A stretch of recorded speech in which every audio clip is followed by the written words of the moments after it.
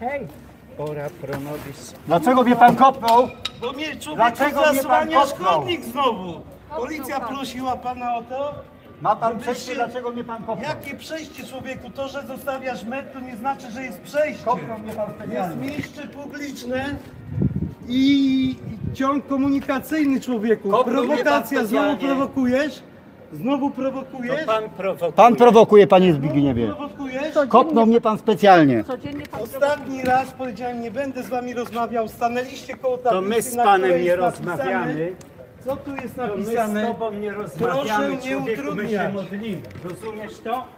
Odejdź ode mnie, Rozumiesz człowieku. Odejdź, nie, nie, nie. To pan Nie podszedł i kopnął Nie człowieka. pluj mi w twarz. Nie pluje to. Nie pluj mi w Kopnął twarz. mnie pan. Następny, który pluje mi w twarz. Prosto w twarz.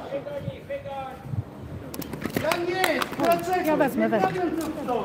Ale dlaczego ja mam ich omijać? I prowokują mnie. Uprzedzeni zostali. Prowokacja języku. Ja idę po maseczkę.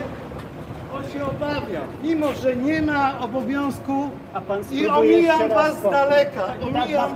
Narażam się na odwrócenie przez. Metry dalej, rozumiesz to?